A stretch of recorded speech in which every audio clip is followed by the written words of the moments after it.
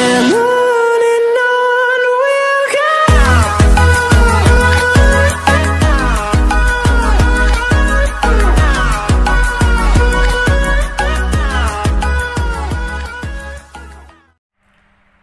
guys, Assalamualaikum warahmatullahi wabarakatuh. Berjumpa kembali dengan satu gue dalam segmen Kata TGR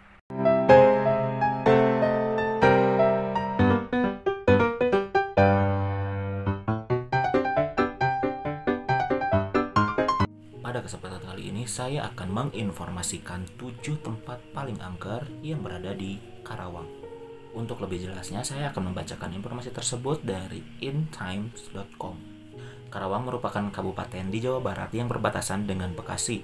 Wilayah ini identik sebagai salah satu kawasan industri di Indonesia.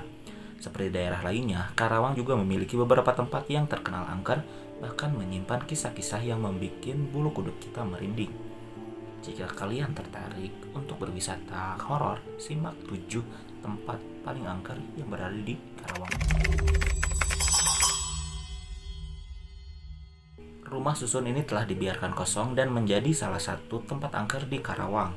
Selain itu, peralatan pendukung seperti pintu, instalasi listrik hingga hilang dicuri. Kabarnya, bangunan ini bekas rumah sakit. Terdapat salah satu ruangan bekas kamar mayat. Hal ini membuat orang-orang merasa takut untuk menyewa rumah susun ini. Warga setempat sering melihat sosok wanita berpakaian merah sedang berjalan di lorong rumah susun.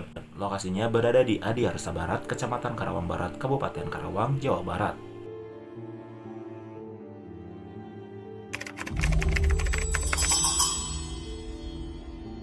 Jembatan angker ini sebenarnya berada di lokasi yang banyak dilewati kendaraan, namun lokasinya yang berada di atas sungai Citarum sudah beberapa kali memakan korban. Beberapa kali sudah ditemukan jenazah yang meninggal akibat bunuh diri. Kabarnya, penunggu jembatan ini kerap berbisik kepada seseorang untuk bunuh diri. Lokasinya berada di Jalan Teluk Jambe Raya, Kecamatan Teluk Jambe Timur, Kabupaten Karawang, Jawa Barat.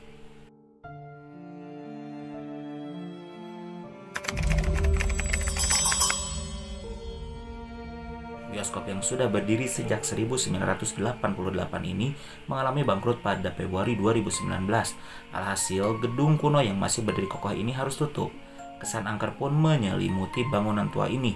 Bahkan tim jurnalista sempat menelusuri bioskop ini. Kabarnya, bioskop ini dihuni sejumlah makhluk halus seperti sosok pria yang meninggal akibat berkelahi di bioskop, Terdapat pula sosok wanita berbaju putih yang meninggal akibat bunuh diri. Tidak hanya itu, ada pula sosok wanita berbaju merah keturunan Tiongkok di salah satu toilet bangunan ini. Sosok wanita tersebut meninggal sebelum bioskop berdiri. Bioskop angker ini berlokasi di Jalan Tuparep, Nagasari, Kecamatan Karawang Barat, Kabupaten Karawang, Jawa Barat.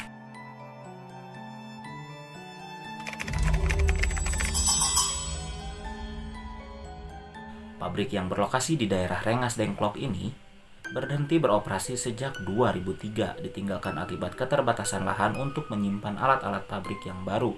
Alhasil bekas pabrik ini menjadi salah satu tempat angker di Karawang. Warga setempat kerap melihat penampakan tentara Belanda di gedung ini.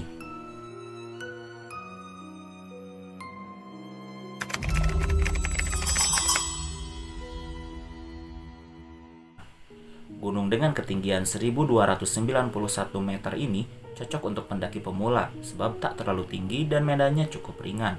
Namun gunung ini terkenal angker di Karawang. Terdapat sebuah kisah sekelompok pendaki yang tiba-tiba dihampiri seorang kakek. Kakek ini minta tolong sesuatu lalu setelahnya ia langsung hilang begitu saja. Lokasinya di desa Mekarbuana, Tegawaru, Kabupaten Karawang, Jawa Barat.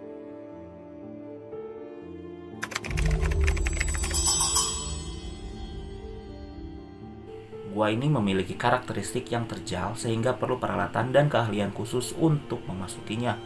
Beberapa kisah mistis beredar di masyarakat. Kejadian tersebut dialami sejumlah mahasiswa yang melakukan penelitian. Mereka meninggal di dalam gua sejak saat itu sering terlihat penampakan yang menyeramkan.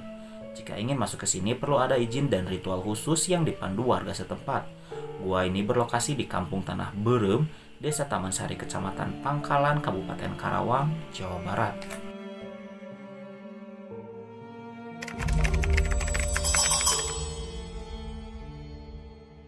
Bendungan yang sudah beroperasi sejak tahun 1925 dibangun oleh orang Belanda untuk mengatur debit air Sungai Citarum. Namun bendungan ini terkesan angker karena kerap memakan korban. Terdapat kisah yang menyatakan bahwa para pekerja yang membangun bendungan sengaja dijadikan tumbal. Banyak warga yang merasa diganggu makhluk gaib saat berada di sekitar bendungan. Lokasinya di Kota Pohaci Ciampel, Kabupaten Karawang, Jawa Barat.